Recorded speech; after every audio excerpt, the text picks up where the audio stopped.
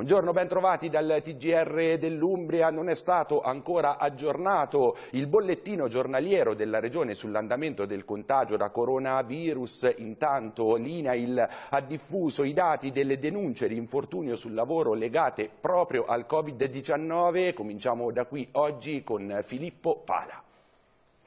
Sanitari e medici, prevalentemente donne, oltre i 50 anni. Sono 202 in Umbria le denunce di infortunio sul lavoro legate al Covid-19 che in tre casi hanno portato alla morte del lavoratore.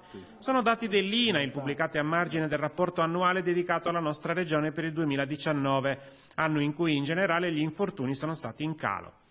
I casi di coronavirus denunciati sul lavoro riguardano nel 61% dei casi donne con la fascia d'età più colpita tra 50 e 64 anni, dove sono il 52% del totale. Il settore più colpito è quello della sanità e assistenza sociale con il 61% dei contagi, mentre tra le professioni maggiormente interessate ci sono i tecnici della salute, il 41%, e i medici col 17% delle infezioni.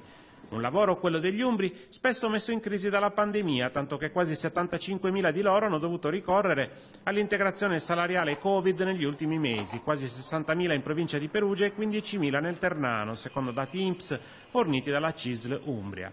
Anche qui situazione più gravosa per le donne, che sono 40.000, e va considerato che ci sono altri 195.000 lavoratori che prendono la cassa integrazione ordinaria o l'ammortizzatore in deroga. Un momento drammatico che per il segretario del sindacato, Angelo Manzotti, si somma alla difficoltà già esistente di un modello regionale da cambiare.